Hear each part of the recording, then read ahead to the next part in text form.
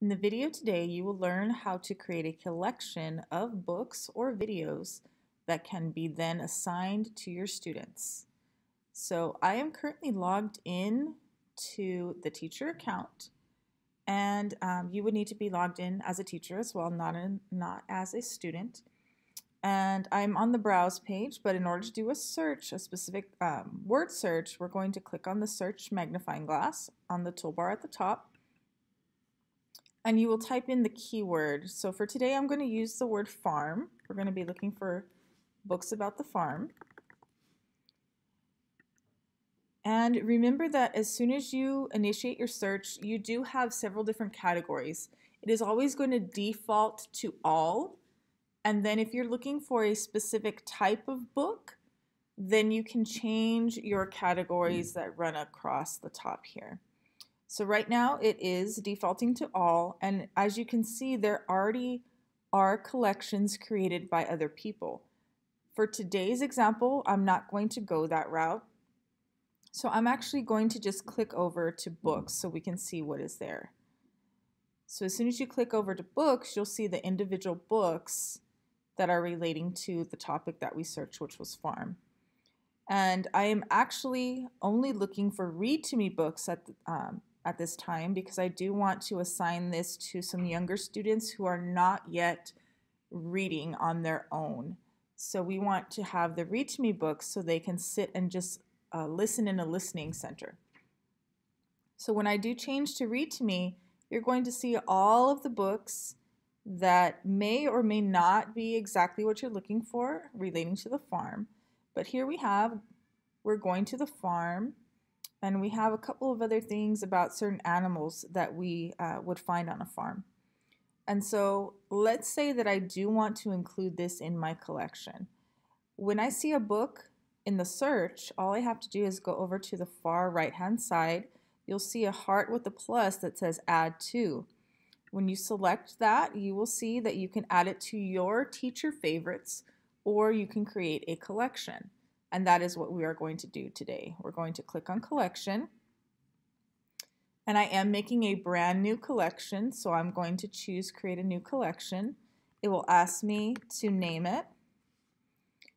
And I am going to include some books here in Spanish, so I am going to also include the word granja as well. You do not need to have a description for your collection. And if you feel that your collection is not complete in any way, you do not have to share it with the EPIC community. Community, so you can uncheck that box. Once we click on create, you'll get a little notification at the bottom saying your collection was created and that book is now part of that collection. So let's say that I want to start including some of these that are about the farm animals. So I'm going, to get, uh, going again to the far right hand side next to the book that I want to include and I will choose collection. And this time I already have that collection in my list. So I just have to check off that that is where I want it to go. So I click on add and it shows that sheep was added to that collection. So I can continue to go ahead and do that. And let me see, let me find a couple of more. Let me add this one as well.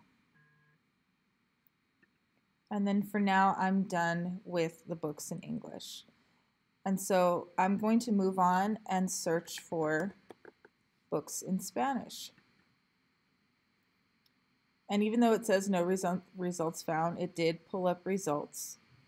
The only thing you do need to remember whenever you are doing a search for something in Spanish, you want to make sure that when you type in the word, you include any accents, tildes, things like that. Otherwise, it may show that nothing is available.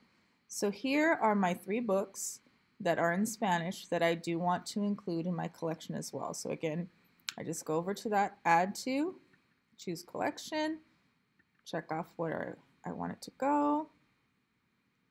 And this may come up. You don't have to share your collection, you can just click on the X and continue with your process of adding different items to your collection.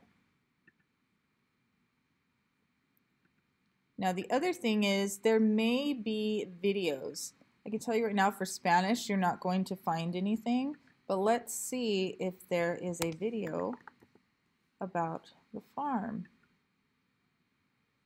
So we have, again, specific videos about some of the animals on the farm, how to make a farm. Maybe their most important, uh, most appropriate videos would be the ones that are right here. I'm a cow, I'm a chicken, I'm a donkey. We'll go ahead and include those in our collection. So your collection does not need to be just books. Your collection can also include videos as well. So once you have your collection created and you have it pretty much complete, it doesn't have to be complete. You can always go in and add more to it later.